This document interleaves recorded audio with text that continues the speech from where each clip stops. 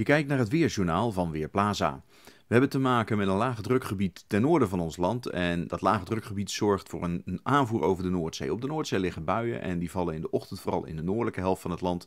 Kan een keer onweer bij voorkomen of hagel. In het zuiden is het vanochtend nog meest droog. Maar vanmiddag kan er ook uh, dieper naar het zuiden een enkele bui vallen. De kans op buien blijft het grootst in de noordelijke helft van het land. En het wordt 7 of 8 graden. De wind langs de kust vrij krachtig. In het Waddengebied af en toe krachtige windkracht 6 daar. Dan vanavond en ook vannacht, vooral in de kustgebieden, nog wel een enkele bui. Landinwaarts is het meest droog, klaart het breed op en koelt het ook flink af. Lokaal tot dicht bij het vriespunt met een mistbank. Morgenochtend uh, hier en daar een bui in de kustprovincies, later ook in het binnenland. Aanhoudend kans op een licht karakter met korrelhagel of wat onweer. 5 tot 7 graden wordt het morgen. de temperatuur gaat nog iets omlaag, want vrijdag bijvoorbeeld is het maar 4 graden, net als in, uh, op de zaterdag.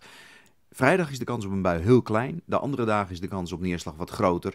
En de temperaturen zijn dus laag met in de nacht kans op een paar graden vorst. Ik ben Marco Verhoef van Weerplaza.nl